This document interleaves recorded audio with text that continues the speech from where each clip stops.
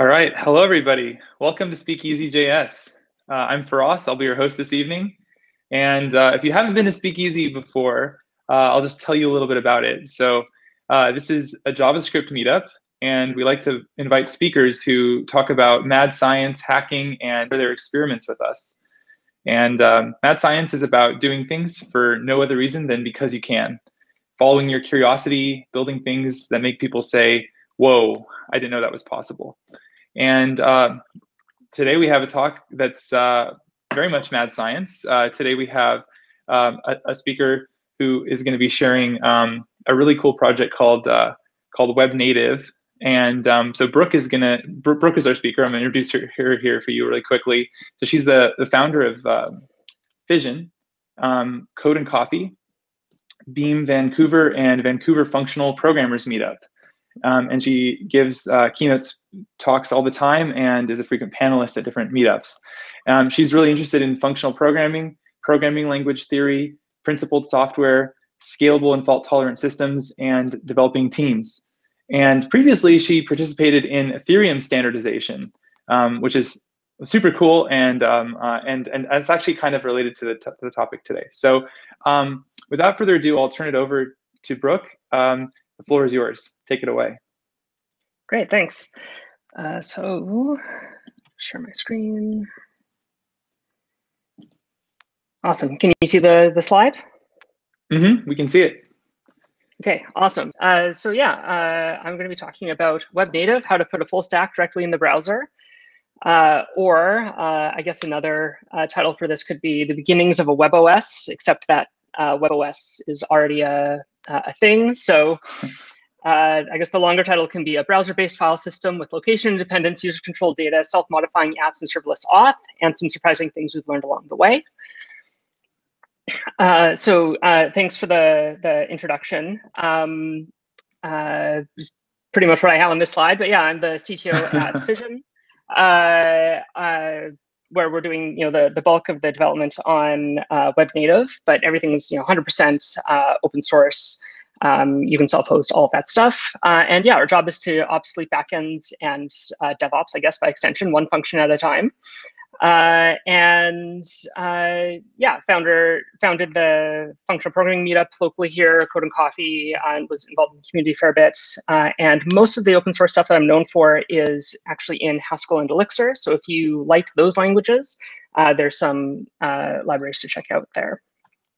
Also, I like to give out uh, stickers when I give talks, uh, which obviously we can't do in person here. Uh, so if you go to shop.fission.codes and use this code SpeakeasyJS, there's a sticker pack that's specific for uh, Speakeasy, and uh, we'll ship those to you anywhere in the world. Super cool. Yeah. So yeah, as you said, this is the JavaScript meetup for mad science hacking and experiments. And I was thinking about it uh, earlier. I was like, oh man, you know, like which which of these, you know, do I fit into? And then I realized that this is an and and not an or. And uh, honestly, I, I think we kind of have all three of these covered, um, which is which is great. So feeling pretty confident going into this one. Um, so the starting conditions or the I don't know if it's like a problem, but like you know the the sorts of things that we're trying to solve for. So this uh, this next picture is going to look pretty familiar, right? Um, the web today really came from, you know, the late 80s, early 90s, um, and has some assumptions built into it, right? So we have a user, they have a machine, and uh, the browser on here isn't that powerful. Uh, and we're going to put some data uh, in some, you know, shared space somewhere else. And uh, in order to connect to that over the internet, we're going to need to put a server in front of the database. Right? Uh, also, and that server is you know much stronger, you know, beefier than uh, than your browser. And so, uh, interesting to note that you know in the era of uh, Java and C++, that this also kind of looks a bit like an object, right? You know, you have some data and then an interface wrapped around it. Um, anyway, so you connect to this, you can send it messages now, and great, everything works. And then a bunch of other people also want to use this, which means now we need to put some access control in front of the data um, so that, you know, Alice can't read Bob's, um, you know, uh, unpublished blog posts, you know, all, all of that stuff. Uh, so lots of people want to use this. Now we have to scale up. We put a, a, load balancer in front of this thing. Um, you know, horizontally scale out a bunch of servers and a bunch of databases, and we've got to keep the databases in sync and make sure that the access control works and is is all up to date, right? Um, which works really well, but also, you know, does have this this rising complexity. When really what we want to do is I want to be able to create some content, uh, a website, a web app, uh, uh, a post, a, a, picture, something, and just share it with other people, right? And especially with uh, software, if you want to share software with somebody else, the, the answer today really is, um, you know, containerize it, ship it to somebody else, and hopefully they know how to run a Docker container. Uh, and so it was this way for many years. Um, and that's literally, you know, the, the internet that we have today, which is fantastic, right? But you know, is the way we do things today the one true way? And is this how things will look in you know 50 or 100 years? Probably not. Um, you know, it's been this this evolution of you know we've only been doing this for 30 years. That's just a you know a blip in time at uh, historical scales, right? But uh, sometimes you know people going and exploring different paths can find other um, other uh, points in the solution space, right? So it's possible that we're currently stuck in a local maxima, and that there could be more interesting or better or more efficient ways of doing things uh, out there. So natural consequences of this view of the world, right, is a very server focused. If you want to do anything with this, you have to learn more of the stack. I talk to people who want to be front-end only developers, and they're saying, well, I'm having to pick up uh, backend programming as well, which is fine, right? It's great. It's just it means that there's this you know larger stack, and you become more of a generalist over time. Uh, the single source of truth lives on the server, and now you have to scale out as time goes. So you use there is this focus on DevOps, Docker, Kubernetes, etc. There's also this base assumption that there's latency over a network, um, and the front end is yes concerned with um, display, but also with synchronizing data um, off of this single source of truth. Uh, so a server really fundamentally is three things, right? It's an auth gatekeeper because we have lots of different people in the database. It gives you resource availability so that uh, you can access the same data across multiple machines and gives you out of bound uh, out of band compute. So running batch tasks or as somebody else is writing uh, or sending requests, you know, we're actually doing not just storing it, but actually doing compute on those so if we take this and we just turn it, you know, totally inside out, right? Um, another common uh, uh, way of doing programming is, you know, with a native app. Uh, so phone, for example, uh, and say you're on iOS, you get uh, an SDK from Apple, and it provides you three things: identity, compute, and storage, which looks a whole lot like what a server gives you. Um, so let's just see if we can take those things and put them uh, in a browser. So it's not 1991 anymore, right? Uh, we have a fundamentally different landscape. Uh, browsers are super powerful. Uh, serverless uh, is on the rise. Edge computing, we're starting to see a bit of. So you can almost think of web native as like post serverless or like like Edge plus plus, where the edge device literally is your browser. Um, and we have these new primitives, right? Location independent data, which I'll talk about browser-based encryption, um, and new consistency models like CRDTs and Raft. And really the, the overall picture is going from REST, which is state transfer, to state synchronization. We have different views of data and we want to um, make those look uh, the same. Uh, new features naturally fall out of this architecture. We're talking, uh, you know, uh, even recently uh, with the team about doing things like uh, progressive login, where uh, you can do 100% of everything in the application except for um, uh, distribute um, your changes to, to other people that aren't currently online, right? And then you need a username. Um, everything's offline first, you know, uh, encrypted at rest. You can do all of these things. Um, we are still, despite being able to do these all these things offline, we are increasingly networked. Um, but local first means that the network can be very efficient because we assume that everything needs to work directly on your machine. So uh, Ink and Switch is an industrial R&D lab. They do actually uh, uh, lots of really nice work in this area, and they have this uh, fantastic article called Local First Software.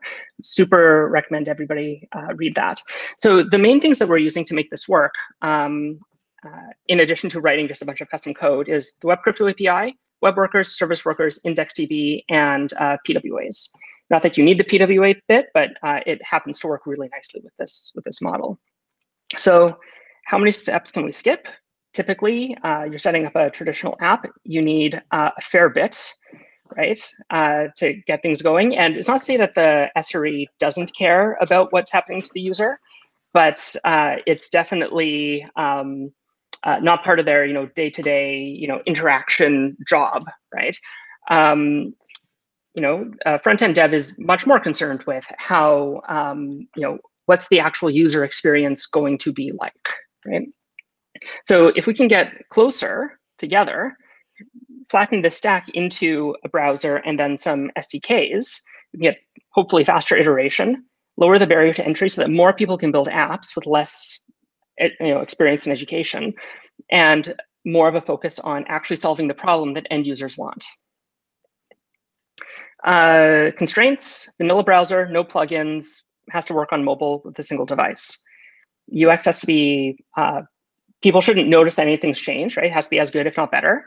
Uh, and there can be no distinction between what you're running locally and production. So as you're working in VS Code or Emacs or whatever, as you hit save, that should automatically be uh, reachable by other people or um, at, at very minimum, exactly the same uh, experience you'll have when you deploy it. Um, because everything's offline, user controlled identity and data, and it should be at least as secure, if not more secure, than existing apps. And we actually think we've gone uh, quite quite a bit further in the, the security direction. Um, so a little video of what this uh, can look like. So this is most of our first party apps uh, or demo apps are done in Elm, but uh, we have somebody uh, on the team doing a React sample app. So this is still uh, his work in progress. But you know, we have a little note. We can type some text into it. Uh, you know, hit the save button. Great. And then uh, we can go to a completely different app at a totally different domain. So this is like a Dropbox-like experience. And uh, the data is synchronized under this application too. The data lives with the user, not each independent app. So we could actually go in, um, I don't show it in the, in the video, but you can actually type in here and hit save and it'll be reflected back in the Notes app as well. Um, same thing, so Diffuse is a distributed music player uh, with a web native backend. Um, here it shows there's this almost like OAuth-like looking thing that we'll talk about in a bit, uh, where the user is giving access to, uh, you know, do you want to have, you know, shared playlists in your public and private file system and the ability to write app-specific data for this app. Um, so then they give that. And uh, worth noting uh, that none of that auth actually left the machine at all. That all happened totally locally between um, between these two apps. And then, yeah, you can load up a, you know, load up some song and, uh, you know, skip around in it, all of the, the stuff you'd expect to be able to do. Uh, here's what the actual code looks like. Um, so this is the, the auth uh, portion for the, the React app. Um, and again, none of this stuff actually leaves the browser. So we have this uh, redirection flow. Um, and then on the uh, right-hand side, uh, you can see it says uh, webnative.initialize, the app name and the creator, uh, set the state, uh, and then, you know, did, did that succeed or not, right? So fairly straightforward flow. And then this is the actual editing of an uh, of a note. And about halfway down in the try, you see file system.add, and then this path and then publish, which means actually persist this and uh, broadcast to anybody who's listening that this has um, uh, this has been updated. So one way to think about this is if React is just the view layer, then Web Native is just the data layer, right? And but it turns out that the data layer touches lots of different things. So the stack for this, um, you know, you've seen now API and, and a little bit of uh, app logic.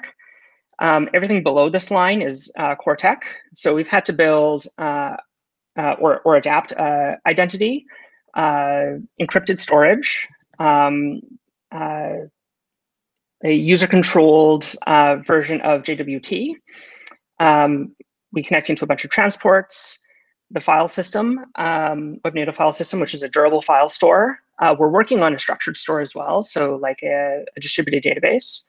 And then uh, offline and async file sharing, collaboration, instant sync. So if you have multiple people uh, being able to type in the same document, multiple cursors, and then global aggregation, which is interesting because when we flip this model, um, we have things like, you know, offline is trivial, uh, encryption at rest, to, you know, super easy now. But uh, doing, say, if you have a social network, you're not following your friends or your friends of friends. That's still uh, straightforward. But doing like the Twitter fire hose of people you've never heard of before, uh, tweeting stuff, that's a more challenging case. So we're doing that with um, uh, over a gossip broadcast. Um, what all this means is uh, you should be able to get on a plane, if we can ever get on planes again, uh, with no Wi-Fi, build an app from scratch, uh, register as the first um, production user of the app, make a bunch of changes, edit photos, you know, etc. Um, and when you get off the plane and open your, uh, you know, connect to Wi-Fi, you're already live, and every all those changes you made are pers uh, persist through this. So was actual production usage um, because code is data. We can move data to compute, but also compute to data, which is interesting and mo moving around functions as well. Um, publishing updates from inside the browser, because again, uh, we can capture any of this stuff as uh, just regular files. So you should be able to edit, um, you know, uh, in the inspector and then push that, which also means we haven't done this yet, but you can have self-modifying apps. So the first time somebody runs something, you can then cache that and even bake it right into the page. Um, and then the next time somebody needs to do something, we can keep baking these down. Um, and also anyone can be a service provider, right? So you should be able to clone apps or provide storage or compute for, for anybody in the system. So uh, I'm making all these these promises. Great, fantastic. Um, but like, how do we actually get a pointer if everything starts offline, right? We don't have a database with a with uh, tables and um, uh, primary keys, right? So content addressing, um, you'll definitely see uh, more and more of as as time goes on. Uh, so it won't be just limited to, to this. Um, we use uh, IPFS underneath the interplanetary file system. You don't have to use um, uh, IPFS. It's just convenient. A lot of stuff's already built for us. So the string hey speakeasy, we can get get its hash, uh, SHA-256 hash, I believe. Um, and that becomes the key for um, for that string. And if we add any other character to it, the hash is completely different. Um, and that also works on just you know arbitrary data. So today, you know, you go, you look at DNS, that turns into an IP address. You get routed to that virtual address at the, you know a physical location, and then you say, "Hey, server, I would like whatever lives at this path," and then you get the content back. Right? It was really focused on the physical network and not the data. So uh, if we want to have a universal schema, um, we add one extra layer of abstraction, which is to hash the content, and everybody uses that as the identifier, as the key. Um, so uh, we don't have to anymore go, well, who has it? We can just ask everybody that we know about, hey, do you have this thing? And they can send it to you. And that can, yeah, that can be a peer-to-peer -peer network, but it can also be, you know, three storage providers that you, uh, you know, subscribed to. It, it literally doesn't matter, right? Um, and so you have this universal relationship. So you can create data offline and still have a, a consistent key when you come back online. Uh, you can also hash link data. So uh, in this case, this uh, this chunk of JSON is this QM123456 is its hash. And inside of that, we'll have some links and another hash pointing to some more data and more data and more data. So then uh, we can load up that first hash and follow these paths. And it, none of those paths can change. Um, because if we change uh, any anything in there, all those hashes will change as well, right? So we always have some way of talking about this specific version of this file. And if we want different versions, we have to change this uh, this top pointer, right? This this head. Thinking about them as pointers is actually really interesting. There's um, people using this idea to build uh, uh, operating systems with uh, content addressing as well. So it's like, you know, galaxy scale operating system, basically, which is very interesting. Um, there's trade-offs, right? Caching becomes trivial, but we don't have identity anymore because it's all equality. It's all just this hash. And uh, we run into Zooko's triangle, which is that you can have uh, identifiers that are human, me human meaningful, secure, or decentralized. You get two of the three of those. Um, so people don't really want to pass around IP addresses or hashes, right? So we have DNS for that. Uh, so we've made the choice to use DNS to distribute hashes at a human readable name um, and using text records, uh, DNS text records. So that, that resolves then down to this content address, um, which you can then ask uh, whoever um, you're connected to for, for this data, and then that comes back in. And if that person then you know, uh, deploys it to a server or peer-to-peer network or whatever, um, and goes offline, uh, you're still able to request that from anybody else that you're connected to if they have it.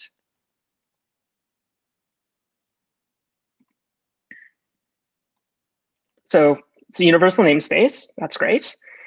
Um, but that also means that anybody can grab data from anybody else, right? So that's that seems pretty insecure. So uh, we need to fix the leaky pipes in the general case. So data is now grouped by user, not by app, which we were saying before, right? So uh, instead of it being, you know, Twitter has everybody's tweets and whatever, Instagram has everybody's photos, uh, Alice has uh, data for multiple apps. And apps can be given, you know, some carved out section of this data and also cross uh, multiple users' data and you know uh, can share data between apps as well. So file system layout, uh, public, private, uh, and then shared uh, sections as well. Uh, this looks a whole lot like the file system on your computer, right? So you have a raw bytes, then you can wrap that in a file, which has some extra metadata, and then wrap that again in, in directories um, gives you a consistent interface and uh, arbitrary metadata, right? So you can have MIME types, creators, sources, all of that stuff. Um, because everything is hash linked and content addressed, it's actually easier to make all of the data structures persistent. So uh, if you've used Apple's Time Machine or you know Git history, anything like that, uh, all the data that goes through this is uh, versioned. So here's version zero or revision zero, and then we can attach new updates to things. So, you know, avatars revision one here contains uh, the caricature and headshot, which the previous one didn't have. Um, so generation zero has the, you know, the orange and uh, green sections, and generation one has blue and green, but you can always get back the orange parts. If we lay this out in a different way, we can see how uh, this forms a, well, it looks like a tree, but it's uh, actually a, a, directed acyclic graph. And so if we take all of the, you know, hash link, we only need the top of this tree to pass around to be, you know, here's the pointer for the entire structure. Um, we want private data. So we take each file, chunk them, encrypt them with AES 256, which is uh, in the Web Crypto API and also what the US government uses for top, top secret files. Uh, it's uh, also considered uh, quantum secure, at least quantum hard. Um, so uh, quantum computers you know, aren't, aren't really going to be an issue uh, for this, at least for, for quite some time. Um, and we take the CBOR, so you know, like like JSON just encoded differently, um, and encrypt that. And all of the um, the links down, so all of the file paths, come with a key to more data that is encrypted with that totally separate key. So it's keys that give you the ability to unwrap some uh, data that includes more keys and more keys all the way down. Um, when you decrypt it, you then rediscover the structure and you get, it looks exactly the same as the, the public side. Uh, the only difference is you have these keys uh, around. Um, if you use Google Drive or Dropbox, anything like that, you want to be able to give uh, permission, you know, read access to some sub portion of the uh, um, of a directory. Uh, so because we have this, you know, recursive key scheme, uh, if you want to give the key for just that red section, you can give that and they won't be able to see the orange bit. Or if you give the orange bit, because that contains the key for the red bit as well in uh, as a file, uh, you know, you get this this recursive, you know, whichever piece you want to give people access to. Um, this then gets, we don't want to uh, expose too much about metadata. So we then uh, um, hash all of the, the names and place them in this uh, in this tree. So it totally scrambles uh, what is related to what. Um, this is actually more efficient than the public tree because uh, it's self-balancing. We can use hashes, right? Um, and uh, uh, at four levels deep, because we have a branching factor of 16, uh, we get about 65,000 uh, files. So it becomes very, very quick to look things up, even if they're uh, very deep in the um, decrypted structure. Um, file sharing uh, is literally just key exchange, which is like what uh, happens with uh, TLS, right? Um, everybody has a, a public-private key pair, and then you can use that to exchange um, the keys that points into the tree that you can then decrypt. Uh, and you then want to, once you have one of these, you want to copy it so that uh, you never lose that key. So great, we can now read recursively crypted trees that live anywhere, um, regardless of provider or if you're offline, so great. Um, how do we do writes if the server can't check the content? Oops. Uh, so we have user-controlled serverless universal auth and identity, or a user-controlled authorization network. Uh, so the W3C, Microsoft, a bunch of others, um, the government of uh, British Columbia, which is the province where I live, um, are working on the spec uh, called uh, decentralized ID. Um, we're using the simplest form of this, which is literally just you can prove that you have access to this um, private key that's associated with the public key, right? So it's it's just you, you can literally sign data with it that proves that you're who you say you are. Um, we're used to uh, um, ACLs, so access control lists, uh, we've moved to OCAP uh, or object capability model, which gives you, instead of having to look up in a table, what is this person allowed to do? The certificate itself says these are all the things they're allowed to do, or it's directly the key to decrypt the thing or you know whatever it is. Uh, anything that you create, uh, you get access to, and you can delegate any subset of access that you have to somebody else. So, um, uh, right, and we're not the first ones to, to do this, right? X509 certificates, Spooky Auth, Google has a system called Macaroons that's similar. Um, but fundamentally, uh, our take on this is it's a JWT with some special keys in it. Uh, sender and receiver, that's the audience and issuer there. Uh, time bounds, uh, you can put in this uh, facts, FCT, sort of arbitrary stuff you want to have signed. The interesting parts here are the attenuation and proof. So attenuation says I have access to some resources and I'm going to delegate to the receiver these uh, permissions that that I have, and it's going to be some subset of, of what I can do. And the way that I prove that I'm allowed to do this is I include whoever the JWT that somebody sent me with the rights that I have, all the way back to the root. So the, the original creator of that resource. So it has this, this nested structure, which you might notice the file system also has this nested structure. So it ends up being really nice um, alignment. And these are non-exportable 2048-bit RSA keys in web crypto. And for the, we have a CLI as well. Um, that's all uh, elliptic curves. And we're starting to do some stuff with uh, BLS. BLS super interesting. If you're into, into crypto, uh, check it out. Um, this also really simplifies when you're trying to do um, uh, authorization of an application. In fact, it, it doesn't even have to leave the device, as I've mentioned, I think now a few times, um, because we don't have to talk to an authorization server to generate a, JWT. You either have the key and a cert certificate or you don't. It's verifiable and user originated. And so instead of having this, I think it's like 12 or 13 steps in a, a OAuth flow, which is on the left, we have four steps to uh, talk to not, not even just an application. This is through an application to a server, so final thoughts to, to wrap it up.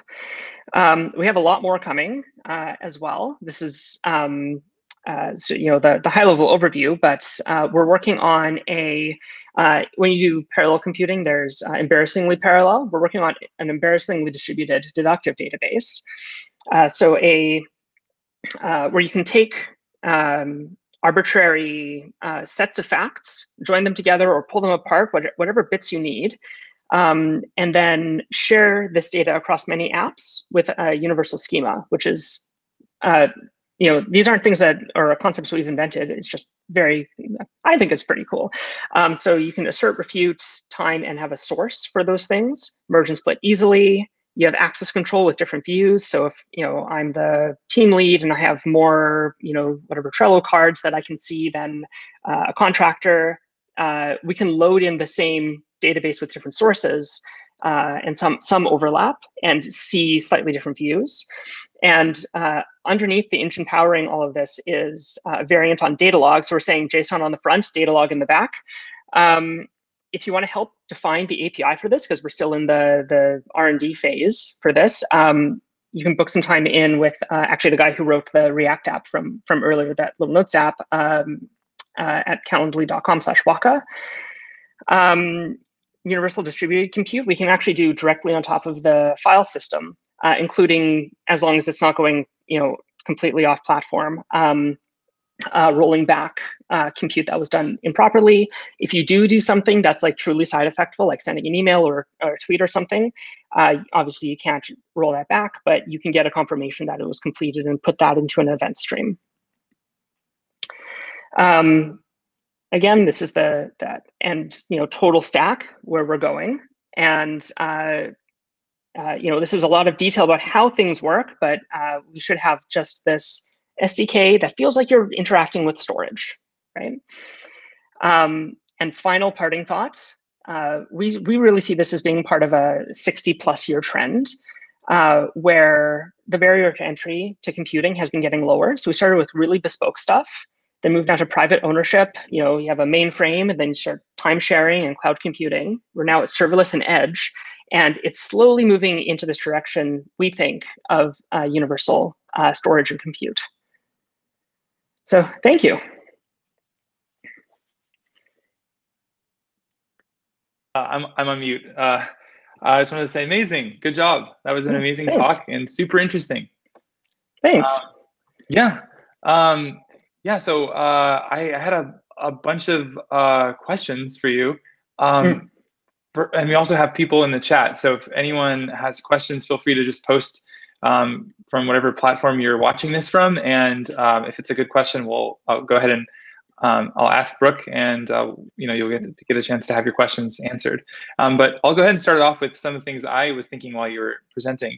Um, well, first of all, my first impression was just what an amazing uh, like uh, like idea for a project. The scope is so ambitious. You're trying to basically make everything perfect. and um, it's uh, it would be really great if, if, if this is this is how you could build apps today. So um, I, I, guess um, one question I have is sort of what what state is it in today? Like what could I if I went and tried to build something with with this today? Um, mm-hmm. What what could I build? Like what would be a good use case for it? And kind of like what would be um, the rough edges where I would run into difficulties? Mm-hmm.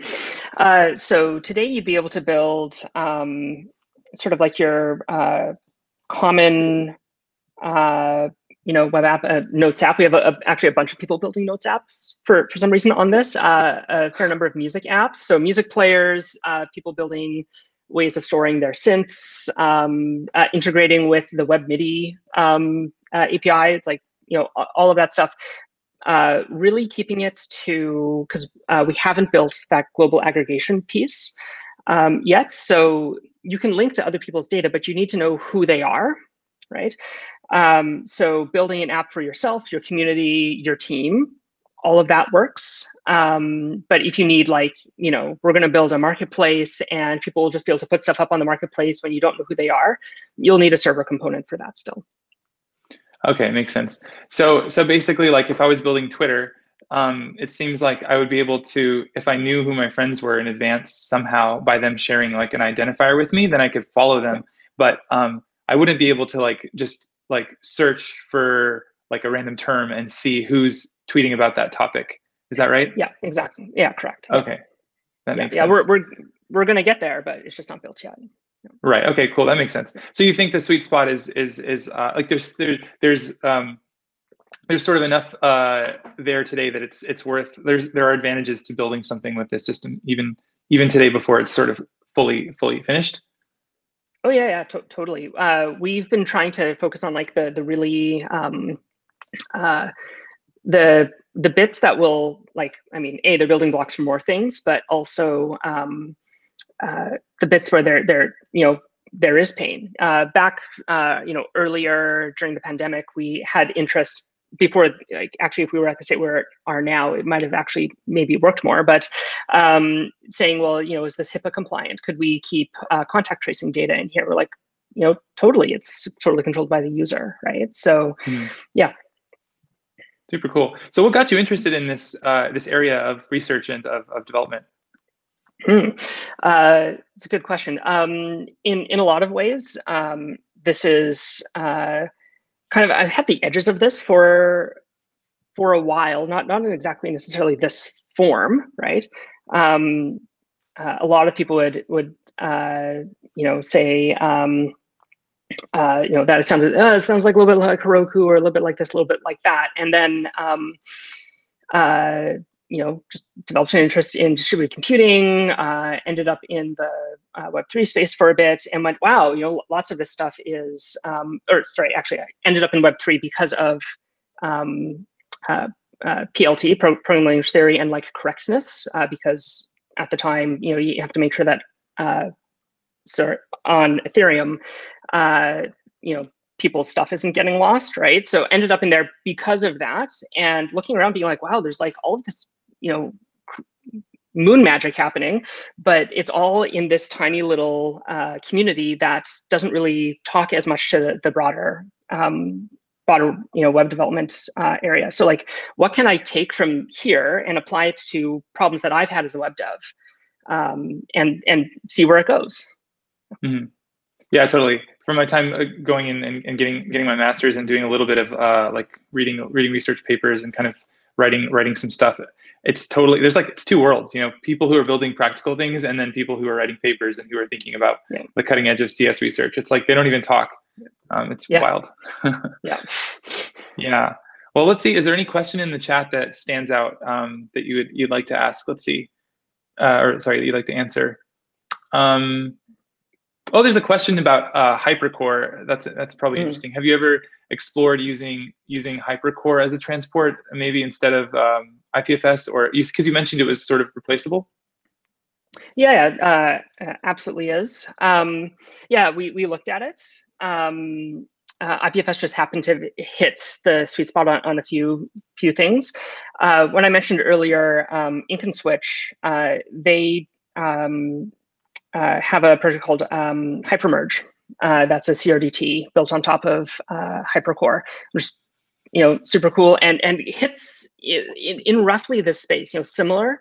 Um, the one of the um, downsides is that you need to always keep this um, uh, this log of, of events, and we want you know a bunch of other structures as well. Um, not that you can't do it, but yeah, it's um, uh, something that TLDR, uh, something we've looked at. Um, probably uh, prior to going to hypercore um, there's been interest from people talking about like well could you just do this over just straight http or braid or, or something like that uh, so probably go in that direction 1st mm-hmm. so what are the other um, open source projects or uh, protocols uh, that that you like drew inspiration from when coming up with this i know the ones there's obviously the ones that you mentioned that you're using directly and the standards yeah. that you're using directly but um, is there anything else that you think people like should take a look at? Any pointers to interesting resources that, that people should look at? Oh yeah, absolutely. Um, lots of stuff. Uh, so in the the Web three space, um, uh, there's um, Wallet Connect, which is again this idea of like, well, let's just take it outside of any particular app and make things just you know uh, uh agnostic um, for the database stuff because that's largely where my head is lately, um, uh, Datomic or DataScript. So DataScript is the JavaScript um, implementation, uh, open source implementation of Datomic, uh, which is this style of database, which is um, uh, actually written in ClojureScript, but uh, like super interesting having this uh, super um, flexible um, database right in your browser. Uh, if anybody watching is familiar with uh, Roam, uh, which is like a, a note-taking app uh, with like very linked uh, notes, they, they're all DataScript underneath. Um, so yeah, like definitely a few of those. Um, we started working on this before Solid, which is Tim Berners-Lee's um, project, which is this same basic idea, but just with more, um, you know, with with more XML basically, right?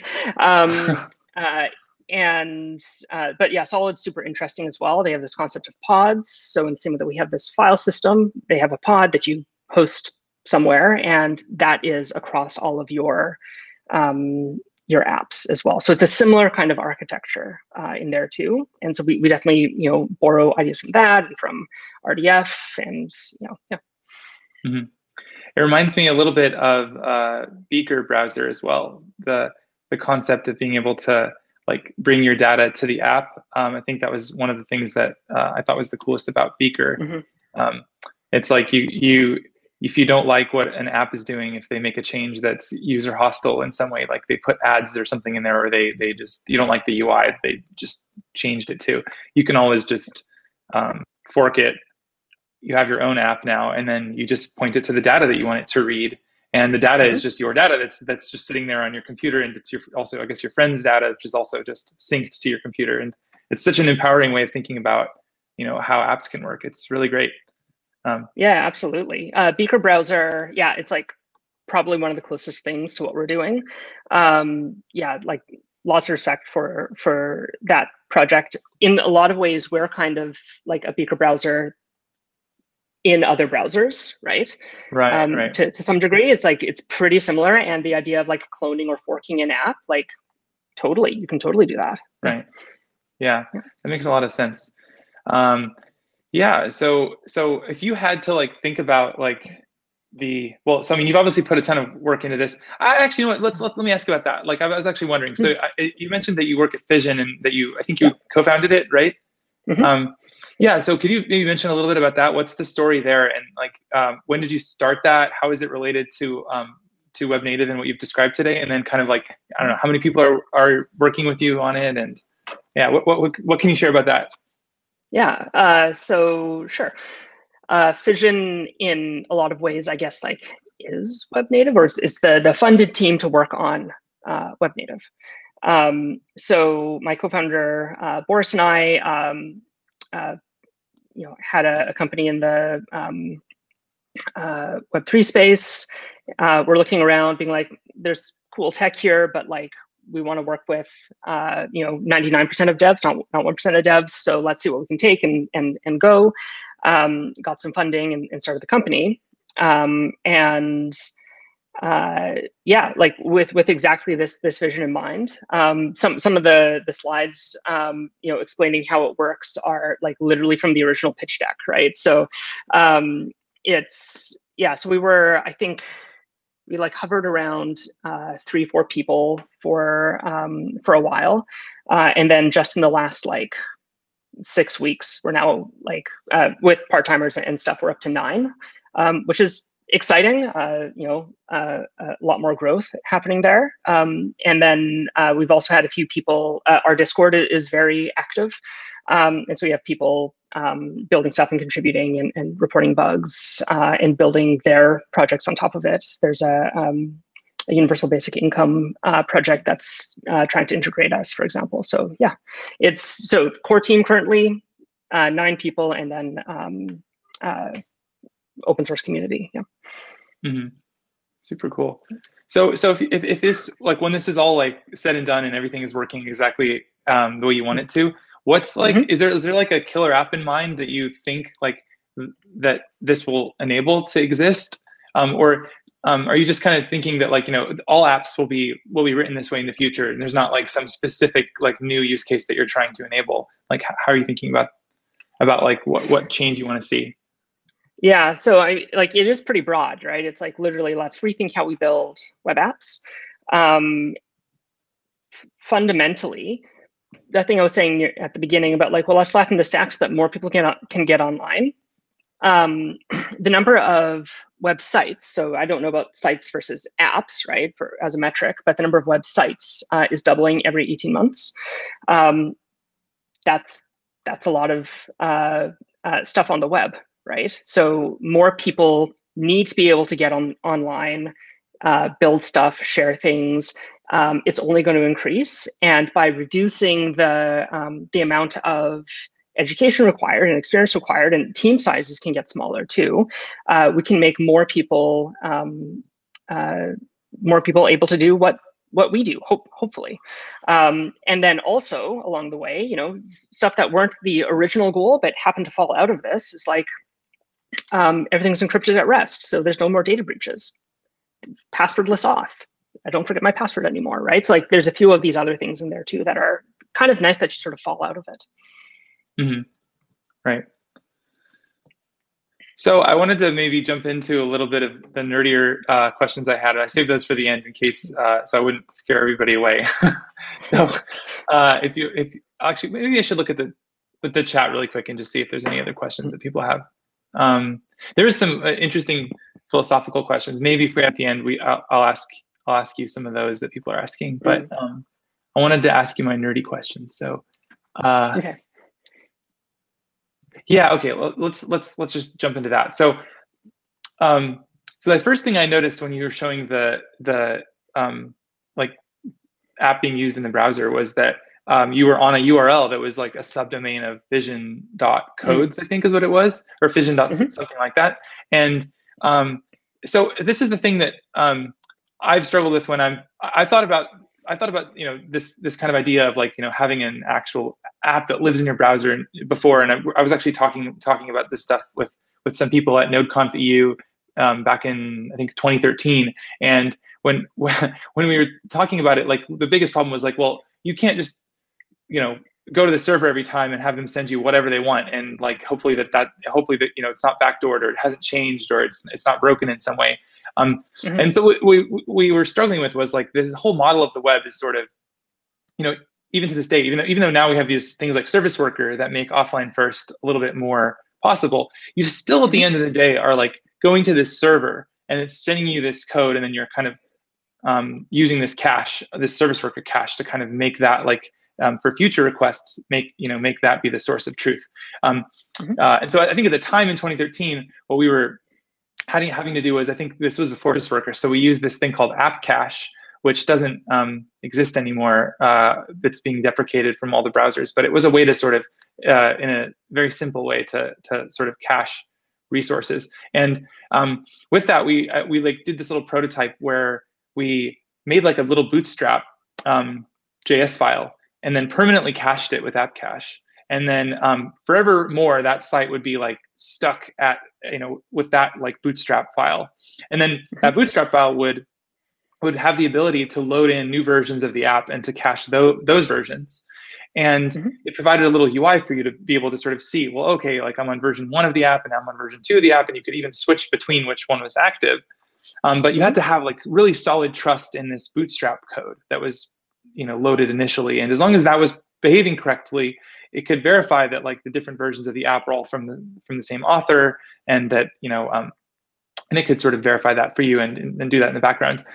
And so anyway this is all a long way of saying like um uh how like i guess the, the question is sort of when i looked into service worker before it couldn't really do permanent caching. Like it, it always checks with the server every 24 hours to see if there's a new mm-hmm. File. And so if you're if you're if you're using that to ensure that the, the site is offline first, is there still like a like is do we need to do we need the web standards to change in some way to help support this hmm. use case better? Or like like what are you doing to make sure that that isn't a like a point of weakness in this whole thing? Right yeah. I, I guess there's there's a few things in there.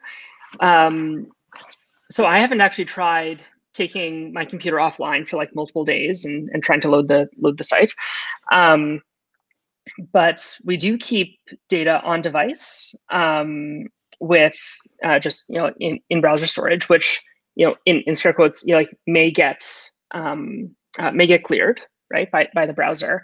Uh, in practice, it seems like that happens when your device is low on space. Specifically. So Apple says that they'll uh, any website that you haven't visited in seven days, they'll they'll clear the um, clear the data from. Um, but it's like really like asterisks, uh, you know, under certain certain certain circumstances. So we do have to have a, a copy of it elsewhere, um, which is also um, uh, why everything then you know needs to be totally encrypted end to end, you know, et cetera, right? You should be able to be agnostic about where it's stored. In terms of the the app itself, um, because the like literally, so you know, you saw the um, the thing in the URL, um, and by default, yeah, we're hosting them at uh, fission.app, uh, and then we can map different domains to them. Um, we use uh, a, um, I guess it's standard called a DNS link, where you have a uh, underscore DNS link dot, and then the um, the URL that you're at, and you put a text record in there of the um, of well, the the hash of the data that you want to get. And so because we're backed by IPFS, so there's really nothing saying that we couldn't do this with just you know straight HTTP. Um, it then when you request that, they're all pointed at um, an IPFS gateway that says, oh, okay, you need the data from this hash. And then when it gets to the uh, front end, you can hash that again and be like, is this correct for what I see in DNS? So you can be guaranteed that it hasn't changed from what's in DNS. And if, if you control your own domain name, then uh, then you can be absolutely certain that it hasn't changed. That we haven't changed anything on you. There are uh, attempts to do this in a more like um, you know cryptographically secure way. So uh, the the company behind uh, IPFS Protocol Labs has uh, the interplanetary naming service, where it's a chain of updates that gets signed by your key, uh, by whoever's doing the update.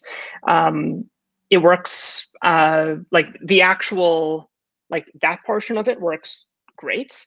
Um, the downside is uh, in our testing, it takes like 90 seconds to connect. And um, uh, you have to republish because you have to keep this live on the network. You have to republish it every day. So it's it's it's a work in progress uh, in terms of having it be um, uh, you know, like guaranteed that it's the same site. But even if you have um, you know a, a site locally um, and somebody changes something you know maliciously, they could just say, "Oh yeah, this is totally still version one," which is why the hash is is pretty important, right? You can have mm-hmm. an actual guarantee and verify it. Mm-hmm. Makes sense. So the mutability is all done with DNS. Then that's the that's the mm-hmm. main way you do mutability. Okay. Other than DNS, yeah. so then like you're just sort of working with uh, the content addresses everywhere else in the system. Yeah, so the the app itself has a single top level content address, and then everything else below it is hash linked. And then same thing with your data. You have one top level um, hash, and then below everything's hash linked. Uh, so you're guaranteed that if you're grabbing from that hash, um, it's all the same and it's totally mutable. And then yeah, uh, the mutable pointer is kept in uh, DNS. Um, but we're going to be pushing those over uh, um, PubSub on WebRTC as well, uh, so that you can get faster than DNS updates. Mm-hmm. Yeah. It looks like uh, it looks like in the in the chat there's a bunch of questions, but you have somebody um, from from your team like answering all of them. So I don't even know whether oh, I should awesome. ask you. Yeah, or maybe it's just a fan. I don't know. Why not both? Yeah. Um, uh, sure. Uh, yeah, go for it. I, I can't seem uh, to actually scroll this. So. Oh, that's a bummer. Um, I'll just here. I'll just show. We'll do a couple more questions from the chat, and then it's getting close to eight o'clock. So then we'll go into the social uh, part of the event after this. But um, here's a question. So um, I'll put it up on the screen too. Does Web Native hide the implementation details of having multi-writer with different devices, or is it up to app developers to make all these devices appear to share one identity? Mm. Uh, so all of the identity stuff is handled with that uh, JWT um, I mentioned before, so uh, uh UCAN. Um, we've when you try to do things with the um, with an identity, like, you know, I am so and so, the human behind all these devices, it gets uh, challenging really quickly. Uh, so, all that we don't really have a concept of identity other than the person who created this originally um, had access to this chained um, uh, auth. So all that you have really is you don't have. Um, I mean, everything's authenticated like cryptographically, but in terms of knowing like who the actual person was, we only have authorization rather than authentication. Um, so linking between devices, you share one of these um, between two um, key pairs, right? You you have uh, you construct a JWT, you point at the um, the ID of the device or app that you want to uh, share it with, and then you have that that link um, between them. Mm-hmm. Uh, so that's all that's all taken care of by Web Native. Yeah. Super cool. Um, let's see. Let's do another question from the from the chat. Um, I guess you already answered the identity question. Um, it looks like this person in, in the chat is really doing a good job answering all, all the all the questions that have come up. So um, I, maybe I'll maybe I'll give you as, as a final question this this one that's a little bit more philosophical, which is from um, someone who's asking about how um, you think about. Oh, it's Boris. Sorry. Oh, is it? Uh, it's, okay. it's my co-founder. that makes sense. yeah. So this is a kind of non-technical question, but um, here I'll just put it on the screen. It's a, it's a it's a long one, but it's oh okay. It doesn't even fit. Um, it's basically asking about how you think about um, you know what is what is it like to work on distributed systems while um, you know we're, we're especially in the current moment that we're in now where like it seems like a lot of the the danger um, is coming from public spaces that are weakly regulated. This is I'm reading the person's question. This is their words. When it comes to speech, so how do we feel safe making stuff that empowers individuals and challenges power structures? Like where where is the the hope and faith and uh, like uh, optimism for this stuff coming from? Maybe that's a, a good note to end it on. If if you're because uh, I'm assuming you're extremely optimistic about all this stuff. Uh, uh, I I am and I'm not right. So uh, I also to sort of pull, pull the, the, the concepts apart a, a, little bit. So there's distributed systems and then there's decentralization, right? So distributed systems, no question that that's going to be a thing. We want documents that we can live collaborate. Um, you know, stuff works offline and you can make changes and have it merged in automatically. Like all, all of that stuff we want, right? Like no question. Um, decentralization um, is is yeah, it's a, a bigger question, and it's one of these things where you know technology will not save us, right? We have to have norms in a society about what is and isn't okay, and what um, uh, what we are and are not allowed to do. So we've created a end-to-end encrypted, uh, file sharing enabled file system. Could that possibly be used for bad purposes? Yeah, totally. And if we find, discover that somebody's using it for those reasons, will we, as much as we can, deplatform them? Absolutely, right?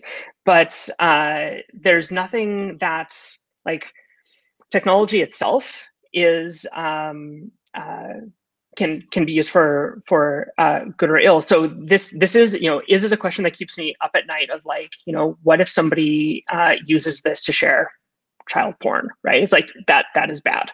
Um, mm-hmm. Can we block that and because it's content addressable, have a hash and maintain a bad hash list that nobody is allowed to to push that around anymore? Totally. Are there ways around that? Yeah, in the same way that uh, it's been really hard to take the Pirate Bay offline for 20 years, right? So it's um, the the web itself was really designed to be resilient uh, against um, uh, I mean, in, in its case, you know, or the internet against, in its case, you know, nuclear attack, but, um, you know, can, uh, uh, can, can that's, you know, that strength where it's resilient and everybody can participate and it's, it's open and all this stuff can also be used um, for, for bad reasons. Yeah, totally. And we need to regulate that. Yeah. Mm-hmm. Yeah. The other thing that gets lost in this stuff too is it's, it's like, centralized systems are also used for a lot of bad stuff and it's not like centralization is a is a cure all at all by any means right